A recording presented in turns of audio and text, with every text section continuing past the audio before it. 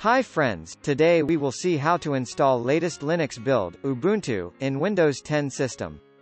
This tutorial provide information about how to install Ubuntu using dual boot method with Windows 10 operating system, and how to install it in an virtual environment.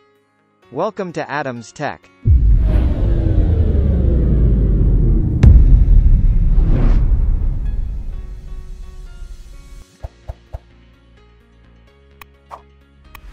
Okay, let's begin. First we need to download Ubuntu 20.4 installation file from its official website.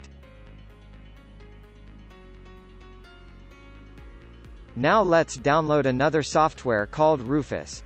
Both the download links will be provided in the description. Now let's create a bootable USB drive for installing Ubuntu. If you don't know how to create, please click the link above and watch my previous video on how to create a bootable USB drive. I couldn't explain it here since it will make our video boringly lengthy. We have to create some free space in order to install Ubuntu. For that go to the Windows search bar and type partition. Choose create or format partition from the results. A partition window will open. Now click on the drive and shrink some space for Ubuntu installation. I have more free space in my disk hence I am shrinking nearly 100 gigabytes. You should at least free 20 gigabyte space for installing Ubuntu.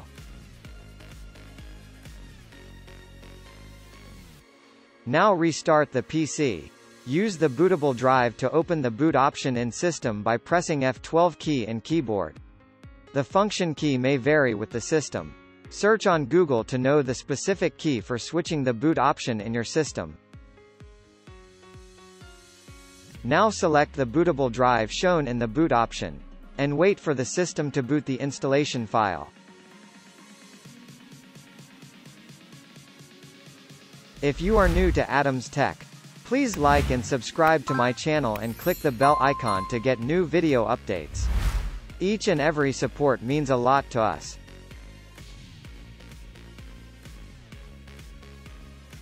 This is the Ubuntu installation window. Choose Install Ubuntu and follow the basic on-screen instructions to select your language and region.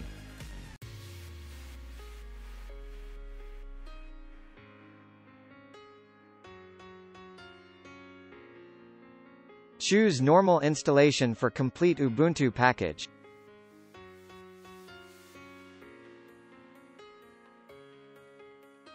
This will be the next window if you are installing it in virtual machine.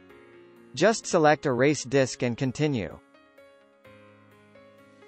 This window will pop up if you are installing Ubuntu with Windows 10. Choose the option Install alongside with Windows 10. And click Continue.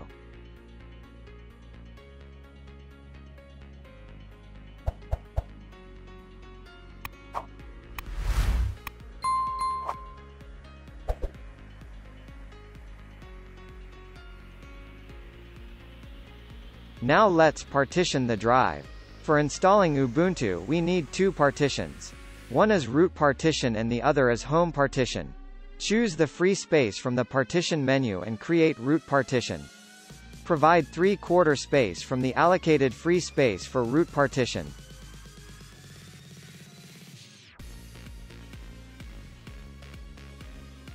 Now use the rest of the space for creating home partition.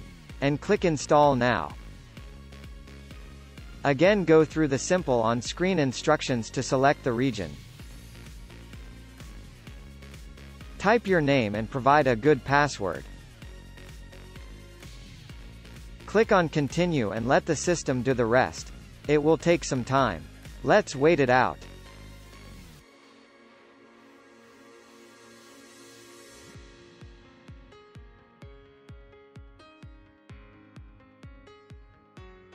Okay that's it. Installation is complete. Now let's restart the system.